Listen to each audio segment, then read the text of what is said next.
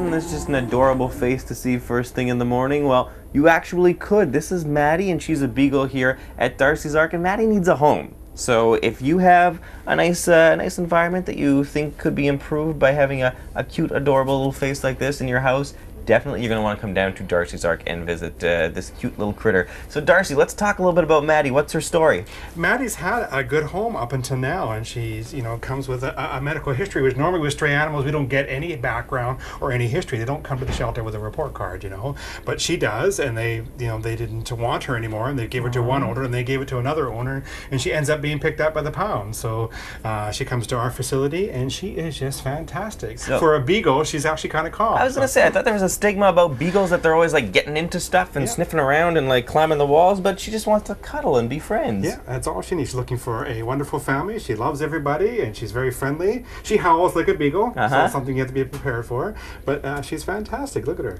Well, with that howl, it could also double as a lovely singing voice, and Yes. it's great to know too with this one because most of the animals that come by are strays. You don't get that medical history, so we know for the six years this dog has been very, very well taken care of. Yes, yes, yes. So, uh, if this is a character you'd like in your home, just stop by to see Maddie. But we have cats, we have dogs, we saw some cute puppies, and this is a particularly good weekend to stop by D'Arcy's A.R.C, correct? That's right. That's right. We are doing Stray for a Day this weekend. We are actually camping out for 24 hours in front of the shelter.